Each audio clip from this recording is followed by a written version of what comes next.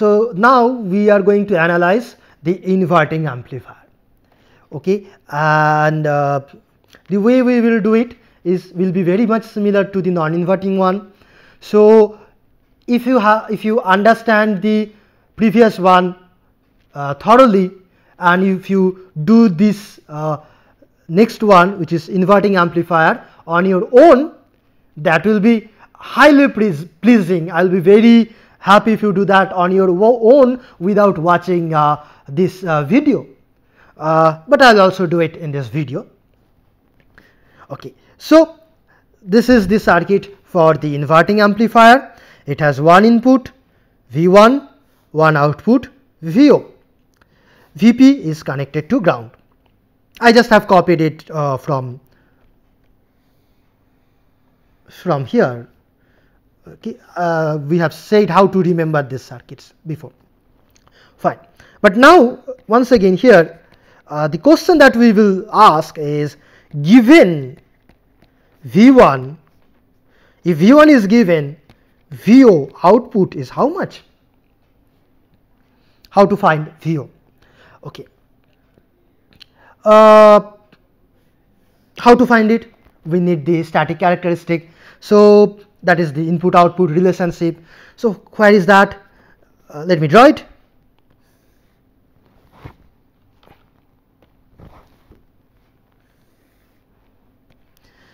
This is the static characteristic output versus input. Input is what? Vp minus vn this is how we draw it. And then this is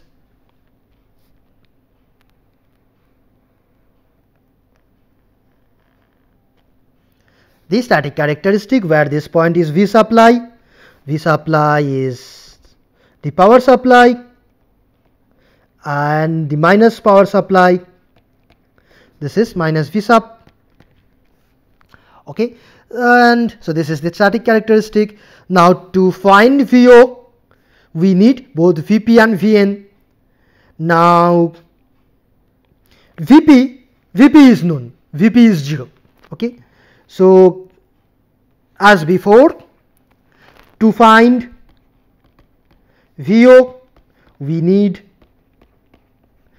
VP and VN. Now, VP is equal to 0 because this is connected to ground, but VN is how much? Do we know VN? Uh, not directly, but we know something about VN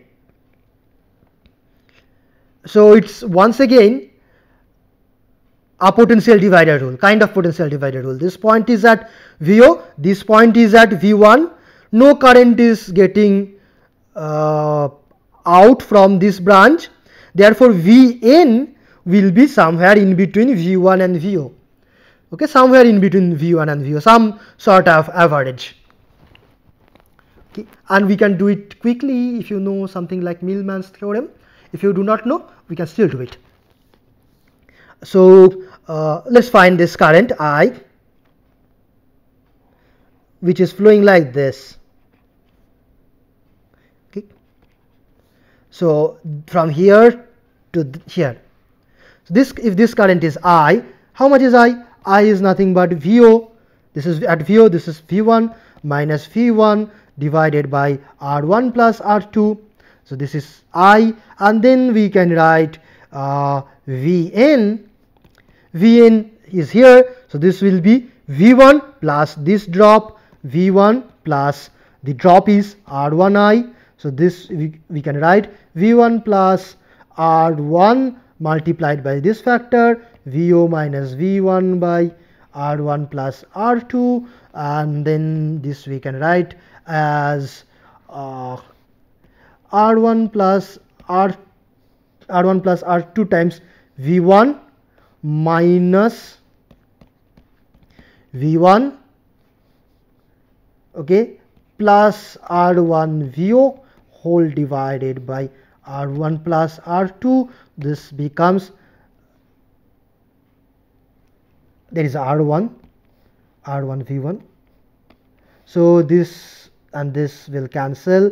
So we have R2 V1 plus R1 VO divided by r1 plus r2 here divided by r1 plus r2 this is equal to vn so this is one relationship we have between vn and vo because v1 is known.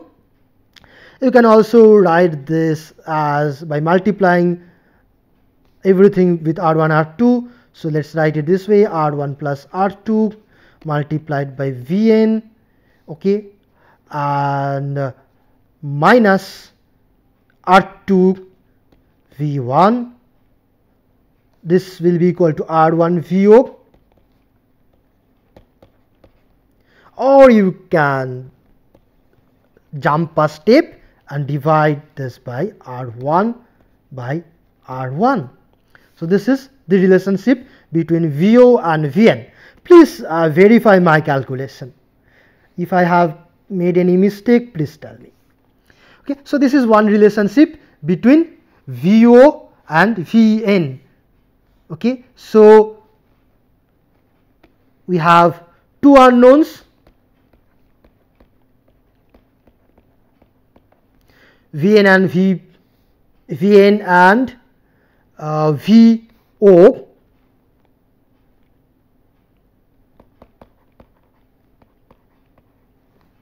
okay uh, to find vo we need as we have already said to find vo we need vp and vn. And here also you see to find vn it depends on vo so it's once again a chicken and egg problem. And so we have two relationships. We will have two relationship now this is this is uh, this you called call relation 1 between VO and Vn. And another relation is here the static characteristic. Okay so this is relation 2 okay so we will also have two relations. So we can solve for Vn and Vo okay.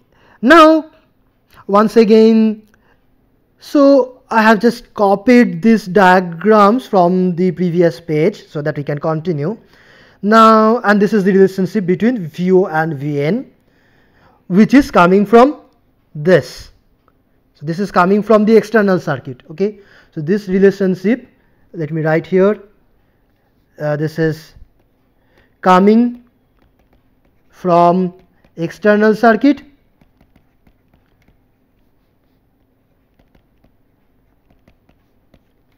and this is from op amps property op amp okay? Okay. So now once again we will draw two cards expressing this relationship and this together. But now we know that vp is equal to 0 and this vp is equal to 0 therefore this is same as minus Vn.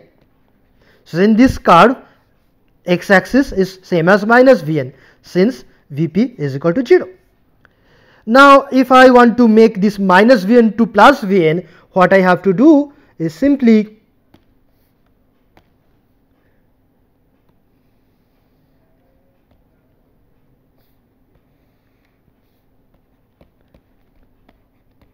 switch or swap this I mean, uh, or make a mirror image of this diagram like this.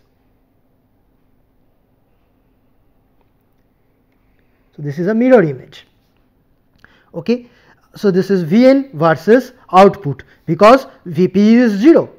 And the second relationship, the other relationship between Vo and Vn is like this. So you see Vo is Vn times something minus uh, V minus something. V1 is known. So this is known. This, this V1 is given. Okay. So this is like Y is mx minus C. Y is mx minus C. So how can we draw that? Y is mx minus C. This will be a straight line with positive slope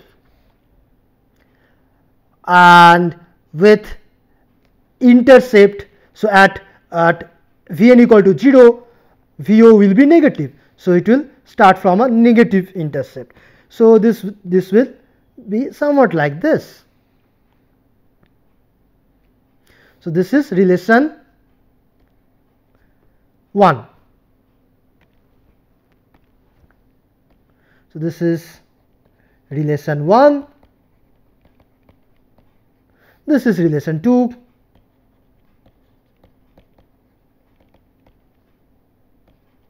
and what is the solution? The solution is at the intersection which is here. Okay so the solution is just this. So now for an ideal op amp this line is almost vertical right? So this almost goes like uh, along the y axis so for an ideal op amp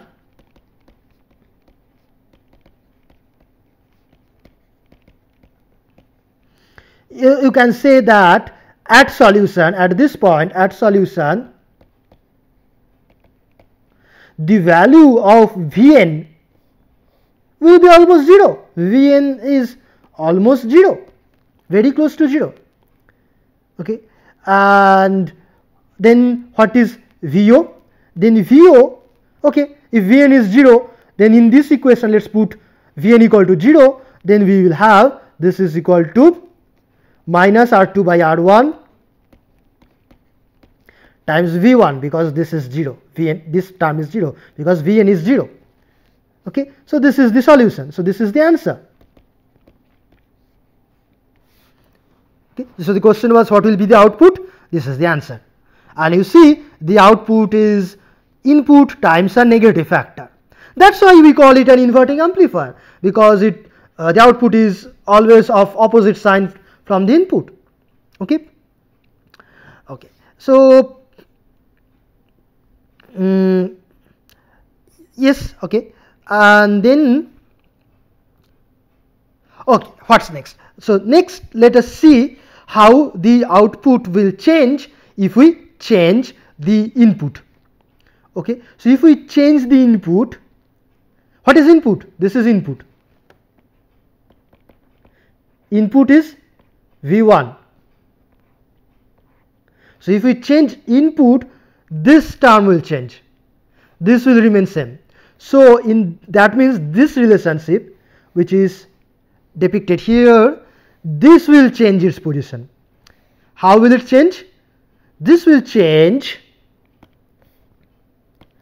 Uh, this factor will change. So the y-intercept will change. Slope will remain same. Okay. So therefore, if I change V1, then this curve is going to move like this.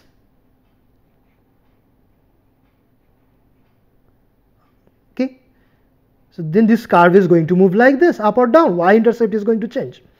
Therefore, but you observe that Vn so at the solution, Vn is going to remain almost 0 okay because this line is almost vertical okay so vn is going to remain 0 and this will also be true so this is how the solution varies as you vary the input now say if you make uh, v1 too much high if v1 is too much high then this will be too much negative. So this will go down like this. And then you see the solution won't be here, the solution will be here at the saturation region. It won't be here, it will be here. And then Vn will not be equal to 0. Vn will be minus, uh, sorry, Vn will be this and output will be minus V sub. Similarly, if you make V1 too much negative, then this term will be too much positive. So then this will go up, up, up, up, up, up, up. Okay, up to this Vn will be 0. Uh, but beyond that, the solution will be here, will no longer be on this axis, will be here. okay? So this is how it moves. Let me keep it here. This is for some value of v1 positive v1 okay. So this is how input and output changes. Now uh, okay once again observe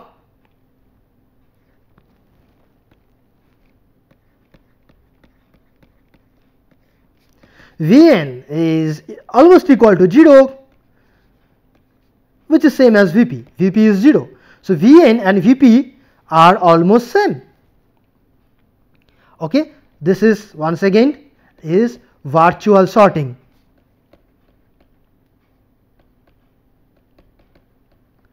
So, that means virtual shorting is also true for this circuit which is uh, inverting amplifier. But once again let me tell you this is not true for only the op amp. If we do not have all these connections, uh, Vp and Vn will not be same. It will not be same for all circuits. It will not be same for only op amp. Once again, this is a property of this circuit, not of the op amp. This is a property of this circuit, of this circuit. But not in general. Okay. So, that is uh, virtual shorting. Um, okay. So, next we will try to do the same analysis for uh, difference amplifier. But I will request you that if you have understood uh, how to do it for inverting and non-inverting amplifiers as we have uh, done in the last two uh, talks, last two classes, uh, then then you should try it on your own for the difference amplifier and if you can do it, it, it will be really a fun. Thank you.